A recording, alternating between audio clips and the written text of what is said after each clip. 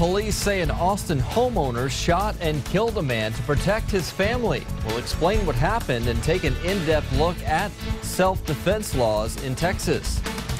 Right now, police are investigating a shooting in South Austin where detectives say an Austin father shot and killed an intruder who forced his way into the front entryway. The man's wife and three children were inside the home. KXAN Sophia Beausoleil is in the neighborhood off of Brentley Bend with the details. Sophia?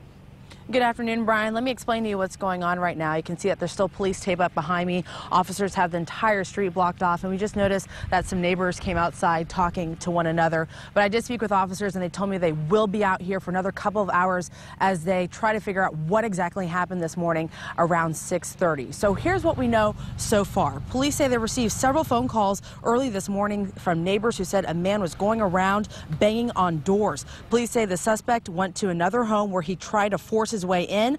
Officers say the homeowner's wife heard it, told her husband, and that's when the man, the homeowner, went to the front door and shot and killed the suspect. Now, I spoke with a neighbor who lives at the end of Brantley Bend. He says he heard three gunshots this morning when he was taking out the trash. He doesn't know his neighbor, but he says he supports what he did. Well, I'm glad I'm not in that situation, but uh, he did what he felt like he had to do. I probably would have done the same thing.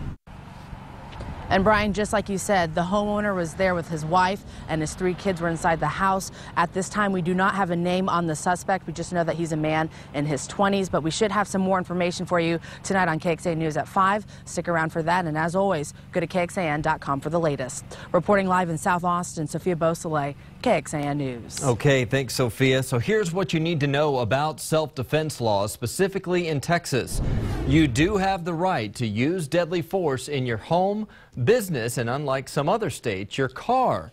You do not have to retreat first as long as you have the right to be in that location. And finally, you do have the right to use force either as someone is in the process of committing a crime or to prevent that person from fleeing.